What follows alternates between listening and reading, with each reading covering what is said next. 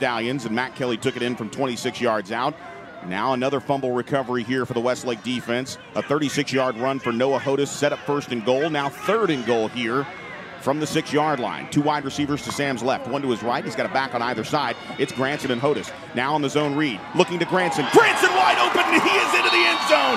Kylen Granson and that is Abe Garcia's favorite play. Spider to Y Banana hit the halfback or the fullback in the end zone. He just swung his way out there, and Kylen Granson is in for the score as the Chaparrals turn a turnover into points. And for Granson, that is his 14th reception of the season and his seventh touchdown reception of 2015. And of course, remember, his season was shortened because of that broken ankle, but he has been a big equalizer. Reese on for the extra point out of the hold of J. Riley Kite.